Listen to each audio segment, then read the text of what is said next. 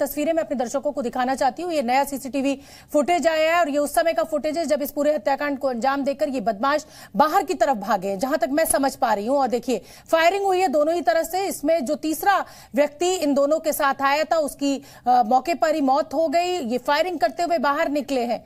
ये घर के बाहर की तस्वीरें हैं। ये इस समय जो तस्वीरें हम आपको दिखा रहे हैं, ये सुखदेव सिंह गोगामणि जी के घर के बाहर की तस्वीरें हैं। सूरज सूरजपाल जी, अपनी बात पूरी कीजिए तो आप पूरी तरह से इसमें अशोक गहलोत को जिम्मेदार ठहरा रहे हैं, क्योंकि पुलिस सुरक्षा की मांग की गई थी, लेकिन पुलिस ने कोई ध्यान नहीं दिया इस ओर, और आज ये इतना बड़ा कांड हो गया। चोपना जी न्यूज़ पूरे विश्व का जाना माना एक चैनल है। मैं अशोक गहलोत को अनुरोध करूँगा कि आपके चैनल पर आकर बयान दें। अभी एक बयान दिया है यहाँ की पूर्व मुख्यमंत्री वसुंधरा राजे सिंधिया ने भर्तसना की इस हत्याकांड की जघन्य हत्याकांड की। हम्म। मैं अशोक गहलोत का नाम बार बार इसलिए ले रहा हूँ। एक सामाजिक संगठन का नेता आपसे टाइम मांग रहा है आपसे रिक्वेस्ट कर रहा है कि मुझे हम्म। सुरक्षा दो। हम्म। मुझे मेरे ऊपर मेरे, मेरी हत्या का मुझे खतरा है। लॉरेंस बिश्नोई से खतरा है। ये जो गोदारा वोदारा कौन है मैं नहीं जानता कौन है। परंतु क्या देश के अंदर इतना आतंक है इन लोगों का?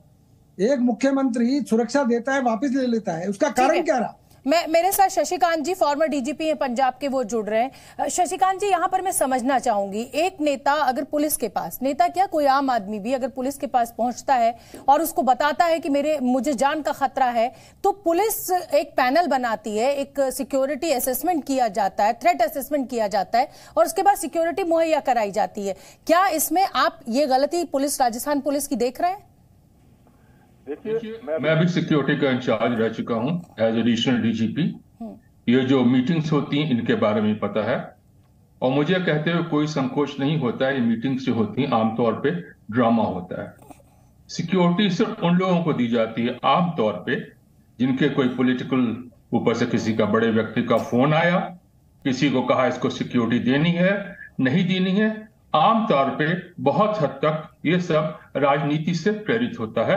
थैंक यू आपने बहुत बड़ी बात कही है और कुछ हद तक मैं भी इस बात से सहमत हूँ।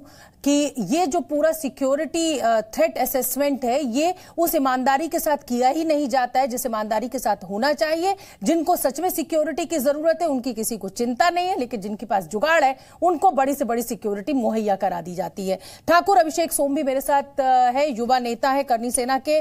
ठाकुर अभिषेक सोम पद्मावत जब फ़िल्म आई थी और उसका जो विरोध प्रदर्शन करनी सेना के द्वारा किया गया था तो कई जगह पर यह विरोध प्रदर्शन बहुत हिंसक हो गया था और उसी समय सुखदेव सुखदेव सिंह गोगामेड़ी जी जो है, वो बहुत चर्चा में आए थे।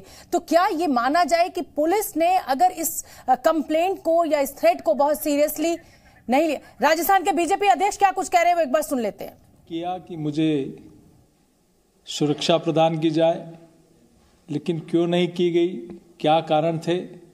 ये निश्चित रूप से जाँच का विषय है। मैंने सूचना मिलते ही पुलिस प्रशासन के शीर्ष लोगों से बातचीत की। तुरंत ही ऐसे अराजकता फैलाने वाले लोगों को जाँच कर दोषी लोगों को सजा मिले। मैं इतना ही कह सकता हूँ कि सुखदेव सिंह जी गोगामड़ी की हत्या करने वालों को तुरंत गिरफ़्तार करके उनकी तुरंत सजा तय की जानी चाहिए। निश्चित रूप से जिस प्रकार से पिछले पाँच वर्षों में एक अराजकता का माहौल राजस्थान में रहा है। और उसी का परिणाम है कि इस प्रकार की घटनाएँ हुई हैं। निश्चित रूप से इस प्रकार की घटनाएँ नहीं हों। इसके लिए प्रोसेस पुलिस प्रशासन को हमने बातचीत की है। थैंक